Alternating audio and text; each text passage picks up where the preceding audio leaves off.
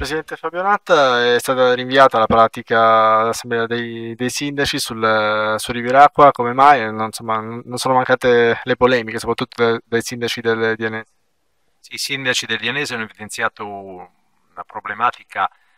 che, che, gli sta particolarmente a cuore, cioè quella di non correre rischi durante l'estate, la conosciamo bene, abbiamo fatto dei tavoli, uno di recente, abbiamo chiesto anche un tavolo regionale su questa tematica. Rinvio è stato richiesto e, e approvato dai sindaci per una questione tecnica perché occorre individuato il percorso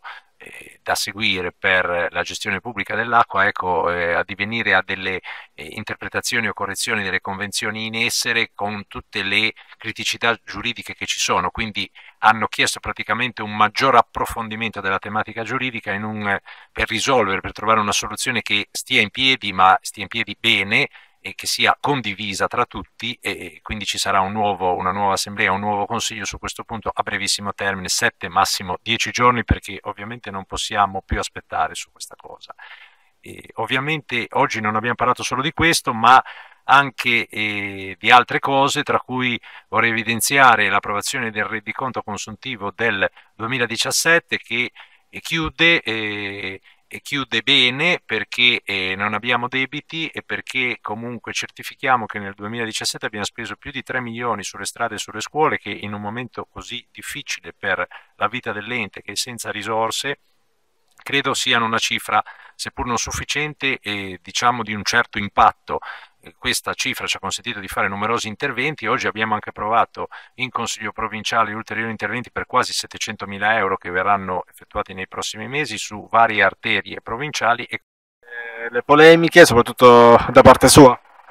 Ma non sono polemiche, sono constatazioni di fatto. Continuano a passare i mesi, la situazione rimane invariata. Riviera Acqua è un soggetto che ci dovrebbe rappresentare, non, di fatto non accade. Posso far solo pensare ai cittadini tutti, agli ascoltatori, che mi ritrovo ad avere delle rotture eh, sistematiche che riguarderebbero il comparto delle manutenzioni straordinarie e purtroppo non ricevo risposta, non ricevo azioni da parte della società che ci dovrebbe gestire queste cose nella riparazione del caso caso. Continuo a dire che sbagliano chi ci accusa, soprattutto il Golfo Dianese, a essere coloro che non vogliono il bene di questa società, al contrario noi siamo coloro che per primi e ancora oggi hanno veramente sostenuto in tutto e per tutto questa società